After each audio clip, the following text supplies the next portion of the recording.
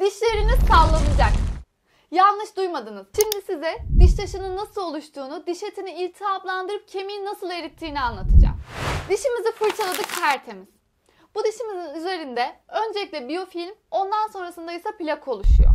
Biyofilm hani yağmur yağdıktan sonra su birikintisinde böyle üzerinden gökkuşağı parlayan, ince, saydam, yapışkan bir şey olur ya. Heh, işte o biyofilm. Dişimizde de oluşuyor. Diyelim oluştu, biz onu fırçalamadık. Üzerinde plak oluşuyor. Plak da böyle ertesi gün tırnağınız değdiğinde böyle tırnağınıza gelen beyaz bakteri yuvası şey var ya. Heh işte o. Onu da fırçalamadık. Ondan sonra diş etlerimiz kızarmaya başladı. Diyor ki bak sorun var gel beni fırçala. Biz yine fırçalamadık. O plaklar üzerinde tükürükten mineraller çekiyor. Böyle taşlaşmaya başlıyor. İşte onu artık biz evde temizleyemiyoruz, fırçalayamıyoruz. Onun için illaki diş hekimine gitmemiz gerekiyor. Gitmedik. Diş etlerimiz şişik şişik, iltihaplı iltihaplı. Kanamalı kanamalı oldu. Diş eti kanaması kırmızıdır.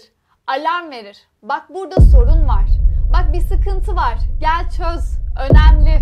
Hani derler ya iltihap kemiği eritir diye. İşte o dışta sizin gördüğünüz iltihap, pü akıntısı mikrobiyolojik olarak o kemiğin erimesine neden oluyor. O kemik eridikçe aşağıdan yeni temiz diş dokusu ortaya çıktıkça o taş daha derine uzanıyor ve daha derindeki diş etlerini de iltihaplandırıyor. Ve bu süreçte kemik tamamen yıkılıyor. Daha hiçbir çürük bile olmadan. Sapasağlam diş sadece etrafında kemik olmadığı için desteksiz kalıyor ve sallanıp düşüyor.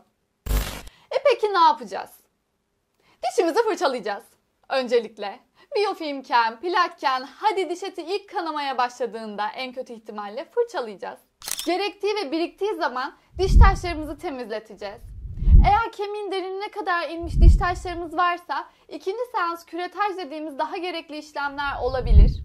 Ve çok nadiren cerrahi müdahalelere başvurmaktayız. Bununla beraber unutmamalısınız ki diş eti kanaması bir alarmdır, bir uyarıdır ve sadece plaktan ve diş taşından dolayı olmaz. Eğer geçmeyen diş eti kanamalarınız varsa muhakkak diş hekiminize görünün ve gerekeni yaptırın. Beni dinlediğiniz için teşekkür ederim. Eğer merak ettiğiniz şeyler varsa yorumlarda yazarsanız diğer videolarımızda onlar üzerine çekebiliriz.